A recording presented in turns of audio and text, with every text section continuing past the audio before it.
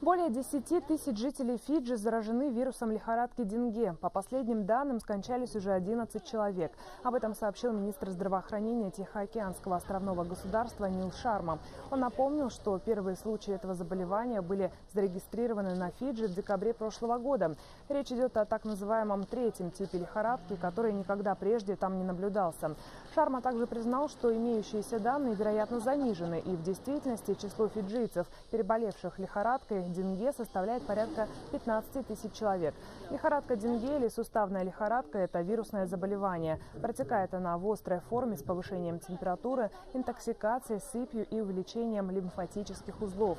Источником инфекции является больной человек, обезьяны и летучие мыши, а переносчиками – комары.